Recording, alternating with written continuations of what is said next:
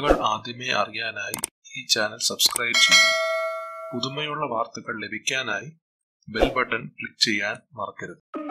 ചിത്രങ്ങളെയും ചിത്രകാരന്മാരെയും നമുക്ക് ഇഷ്ടമാണ്. അവരുടെ കലാസൃഷ്ടികൾ നമ്മളെ പലപ്പോഴും അതിശയിപ്പിച്ചിട്ടുണ്ട്.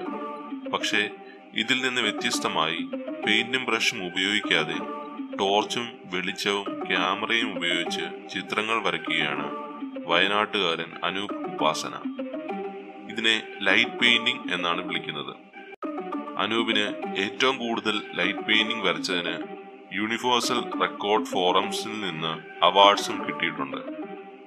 അനൂപ് ക്യാമറയുടെ ഷട്ടർ സ്പീഡ് കുറച്ച് ടോർച്ച് പിടിച്ചുകൊണ്ട് ഒരു പടം വരയ്ക്കുന്നതിന് മുപ്പത് സെക്കൻഡ് എടുക്കും. അദ്ദേഹം ഇങ്ങനെ മഹാത്മാഗാന്ധി മഹാബലി കുടം പിടിച്ചു കൊണ്ടുപോകുന്ന സ്ത്രീകൾ ഇതുകൂടാതെ വേറെയും ചിത്രങ്ങൾ വരച്ചിട്ടുണ്ട്. പടങ്ങൾ കണ്ടാൽ നക്ഷത്രങ്ങൾ ചിത്രം വരച്ചതുപോലെയാണ് തോന്നുന്നത്. വീഡിയോ ഇഷ്ടപ്പെട്ടെങ്കിൽ ലൈക്ക് ചെയ്യുക ഷെയർ ചെയ്യുക സബ്സ്ക്രൈബ് ചെയ്യാൻ മറക്കല്ലേ?